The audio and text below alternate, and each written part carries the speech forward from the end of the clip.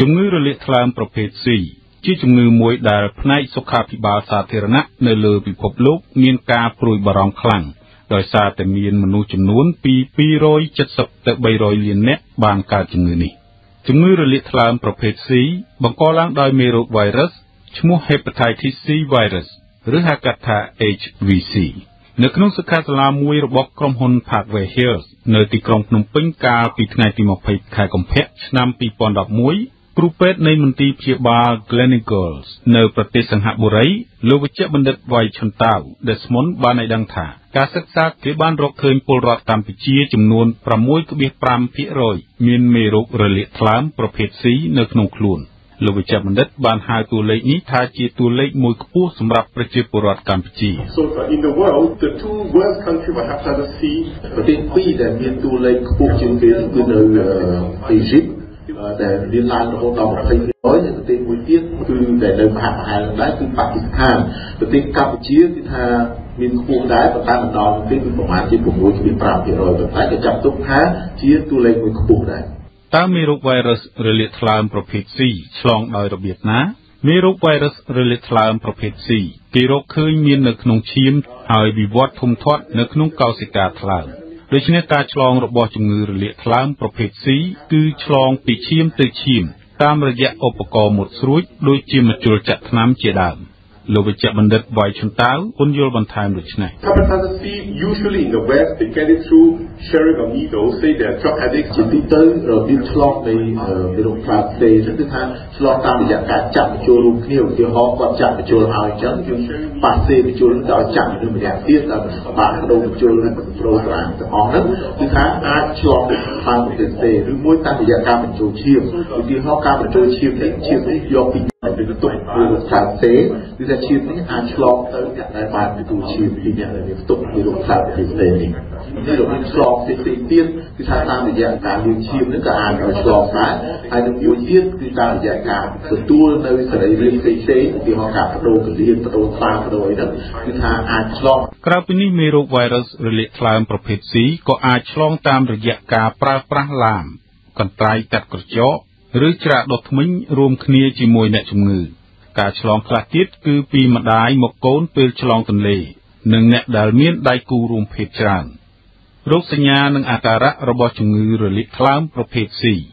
គ្រូពេទ្យបានឲ្យដឹងថាជាទូទៅជំងឺរលាកថ្លើមប្រភេទ C ប្រមាណ80%មិនបង្ហាញអាការៈឬរោគសញ្ញាអ្វីទេរហូតដល់10ទៅ20ឆ្នាំក្រោយមកក៏ប៉ុន្តែការរលាករ៉ាំរ៉ៃនាំឲ្យថ្លើមមានស្នាមសម្លាក់ ស្នាមសម្លាក់ថ្លើមយូរយូរទៅ អាចវិវត្តជាជំងឺក្លិនថ្លើម និងមហារីកថ្លើម នៅពេលដែលជំងឺរលាកថ្លើមប្រភេទ C ចូលដល់លក្ខណៈធ្ងន់ធ្ងរវានឹងបង្ហាញអាការៈឬរោគសញ្ញាខ្លះៗស្រដៀងគ្នានឹងជំងឺផ្ដាសាយដែរដូចជាក្អួត ចង្អោររាគមិនឃ្លានបាយអស់កម្លាំងលហិតលហើយឈឺពោះខាងស្ដាំ កើតលឿងទឹកនោមពណ៌ដូចទឹកក្រូចកូកាកូឡា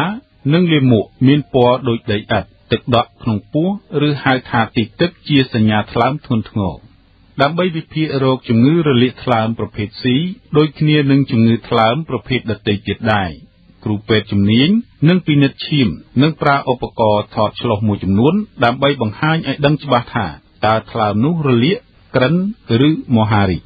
ចំពោះការព្យាបាលជំងឺរលាកថ្លើមប្រភេទ C ដែលទើបនឹងកើតឡើងថ្មីថ្មី ត្រូវបានគ្រូពេទ្យឲ្យដឹងថាមានឱកាសជាសះស្បើយរហូតដល់80%លោកវិជ្ជបណ្ឌិតវ៉ៃឈុនតៅ Desmond មានប្រសាសន៍បញ្ជាក់ដូចនេះ For genotype 1 the cure rate is only about 50% whereas for genotype 2 and 3 the cure rate is about 80%វាថាទេការសិក្សាតាមលក្ខណៈវិទ្យាសាស្ត្រគេឃើញថា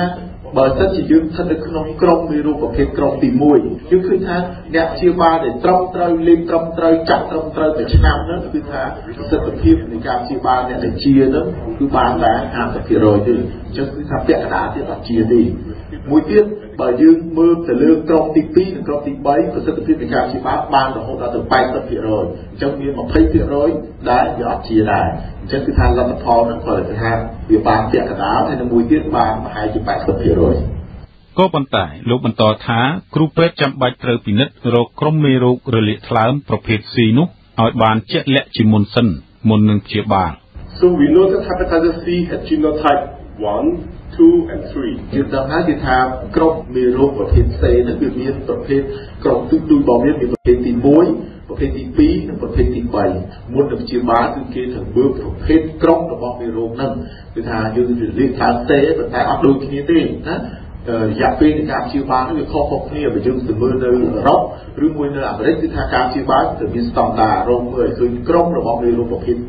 សេទៅតើស្ថិតនៅក្រុមមួយណាបើជាក្រុមប្រភេទទី1គឺការព្យាបាលព្រោះអីឥឡូវនេះគឺថាព្យាបាលតាមសេនេះគឺត្រូវការឆ្នាំចាស់ហើយនិងឆ្នាំលេខជាទូទៅគឺយើងបើសិនជាឆ្នាំលេខគឺយើងត្រូវការ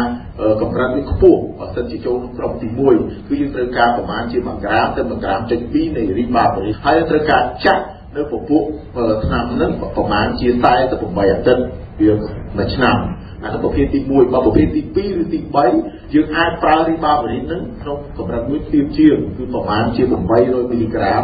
ការព្យាបាលហ្នឹងគឺត្រូវការការចាក់ថាអីទៀតគឺយើងត្រូវការតែ24អាទិត្យទេគឺប្រហែលជា6ខែអញ្ចឹងគឺថាការរកឃើញក្រុមរបស់មេរោគខ្លោចផ្សេងនេះគឺថាសារៈសំខាន់ណាស់ព្រោះវាអាចកាត់បន្ថយរយៈពេលនៃការព្យាបាលមួយឆ្នាំការប្រើយូរកាន់តែធ្វើទុកបានលោកវិជ្ជបណ្ឌិតវាយឈុនតាវបានឲ្យដឹងថា នៅពេលណាថ្លើមឈានដល់ដំណាក់កាលខូច ដែលបណ្ដាលមកពីការរលាកប្រភេទ C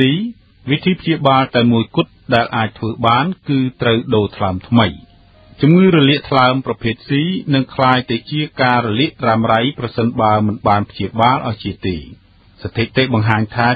75%នៃអ្នកជំងឺរលាកថ្លើមប្រភេទ C វិវត្តទៅជារ៉ាំរ៉ៃ លោកវិជ្ជបណ្ឌិតវាយជំតាវ Desmond ពន្យល់ថា Hepatitis C same as hepatitis B can also lead to liver cirrhosis and can lead to liver cancer ជាទូទៅគឺថាជំងឺរលាកថ្លើមប្រភេទ C វាអាចវិវត្តទៅជាក្រិនថ្លើមហើយនឹងវិវត្តទៅជាមហារីកថ្លើមដូចគ្នាហើយវាជាទូទៅវាប្រើរយៈពេលប្រហែលជា20ឆ្នាំអញ្ចឹងបើយើងកើតពីក្មេង គឺថាប្រហែលជាអាយុ40ឬ50នេះចាប់ដើមគឺមានក្រិនថ្លើមឬក៏ហារីថ្លើមដោយសារវីរុសថ្លើមប្រភេទផ្សេងចំពោះវិធីបង្ការវិញរហូតមកដល់ពេលនេះនៅមិនទាន់មានថ្នាំវ៉ាក់សាំងសម្រាប់ចាក់ការពារជំងឺរលាកថ្លើមប្រភេទ C នៅឡើយទេគ្រូពេទ្យបានណែនាំទៀតថាដើម្បីរក្សាថ្លើមឲ្យមានសុខភាពល្អគឺមិនត្រូវទទួលទានស្រាច្រើនទេជាតិស្រាដែលអាចទទួលទានបានក្នុងមួយថ្ងៃគឺ1កែវ គួរកាត់បន្ថយឬជៀសវាងការជក់បារី ពីព្រោះបារីក៏នាំឲ្យរលាកថ្លើម និងមហារីកថ្លើមដែរវិធីបង្ការផ្សេងទៀតគឺយើងត្រូវប្រើស្រោមអនាម័យឲ្យបានត្រឹមត្រូវពេលរួមភេកហើយជៀសវាងការប្រើប្រាស់សម្ភារៈរួមគ្នាដូចជាច្រាសដុសធ្មេញឡាមកោពុកមាត់កន្ត្រៃកាត់កញ្ចក់ម្ជុលចាក់ថ្នាំឬចាក់សាក់ឬម្ជុលចោះត្រចៀកជាដើមខ្ញុំលេងម៉ាលីវិទ្យុអាស៊ីសេរី ដោយសារតែមានបងប្អូនជាច្រើនមិនបានឃើញវីដេអូថ្មីពេលដែលខ្ញុំផុសចូលទៅក្នុង YouTube